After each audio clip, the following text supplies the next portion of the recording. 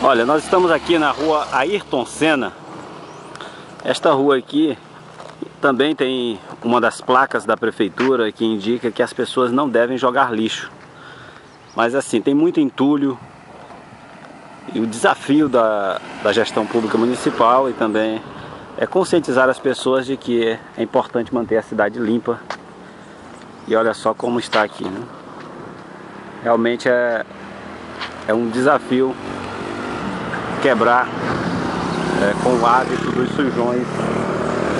Muitos desrespeitam, né? Continuam jogando o lixo e também os entulhos nesta, nesta parte da cidade. Então a prefeitura está com essa campanha de conscientização.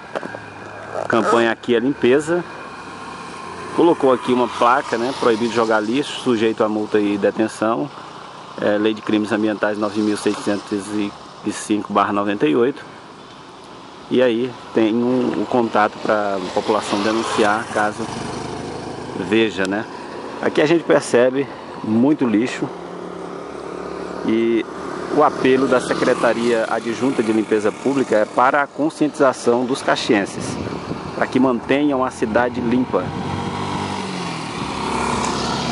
aí a solicitação sendo feita mais uma vez para que a população possa destinar jogar o lixo onde deve ser jogado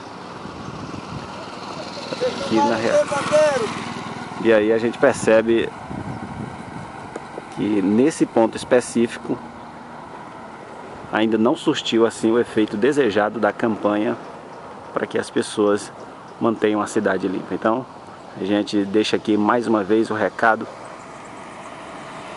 da Secretaria de Junta de Limpeza, que quer ver a cidade mais limpa. Para isso, conta com o apoio de toda a população de Caxias.